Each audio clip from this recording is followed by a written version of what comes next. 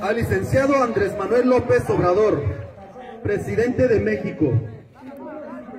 Los pueblos Amusco, Yunzabi, Mepa, Nahua, Yondá, afromexicano y mestizo.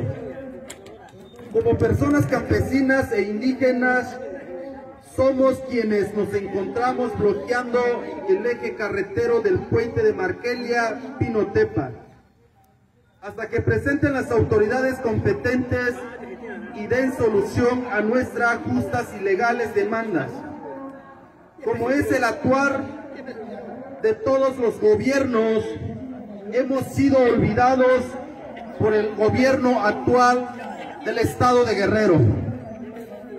Siguen queriéndonos tratar como si no existiéramos.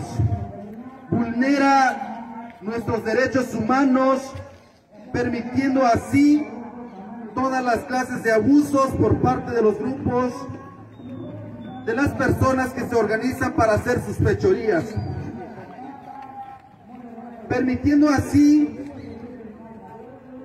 toda clase de abuso por parte de los grupos de la delincuencia organizada, sufriendo asesinatos, desapariciones forzadas, tortura, desplazamientos, cobro de piso y así podríamos enunciar mucho más.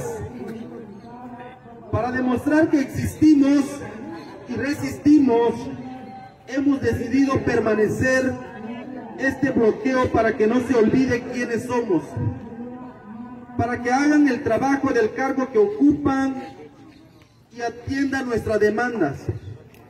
Ya hemos agotado otra vía sufriendo burlas y desprecios por parte de las autoridades. Es por eso que escalamos a usted nuestra exigencia sabiendo que tiene la capacidad de resolver y esperando tenga la voluntad para, para ello. Nosotros los que estamos en este bloqueo somos autoridades agrarias de diferentes regiones no somos delincuentes. Exigimos como derechos inalienables se nos dé acceso a la justicia, educación, salud, servicios básicos para una vida digna. No tendríamos la necesidad de encontrarnos en este momento realizando este tipo de manifestaciones y si fuera atendida nuestra demanda. Sabemos que estamos perjudicando a muchos terceros.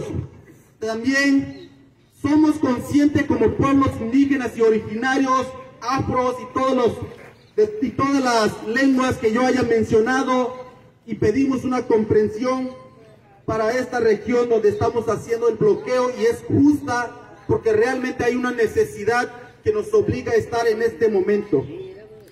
Es por esa razón que hacemos de su conocimiento, presidente de México, que la gobernadora de Guerrero, Evelyn Cecia Salgado Pineda, y su administración mienten categóricamente cuando dice que Guerrero va caminando hacia adelante. Es totalmente falso. Sabemos cómo es el sistema a nivel nacional y a nivel internacional. Exigimos que usted como autoridad federal ordene que sean atendidas nuestras denuncias y demandas de los pueblos y esclarezca el asesinato del dirigente indígena y luchador social, Bruno Plácido Valerio, y su acompañante Abad Ruiz García, quienes fueron asesinados en la Secretaría de Salud en la capital del estado de Guerrero, Chilpancingo de los Bravos. Exigimos se respeten nuestros derechos humanos, Exigimos una vida digna. Exigimos acceso a la justicia.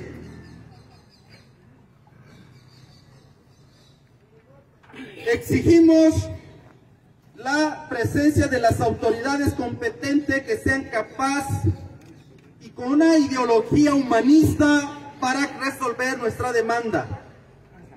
¡Viva Lucio Cabañas! ¡Viva Genaro Vázquez! ¡Viva el Congreso Nacional Indígena! Viva el Ejército Zapatista de Liberación Nacional. Exigimos justicia para Bruno Plácido Valerio y Abad Ruiz García. Atentamente, todas las comunidades que se mencionó y la comunidad de Buenavista, municipio de San Luis Zacatlán, Guerrero, México y pueblos originarios del estado de Guerrero. Es todo, señor presidente, y muchas gracias.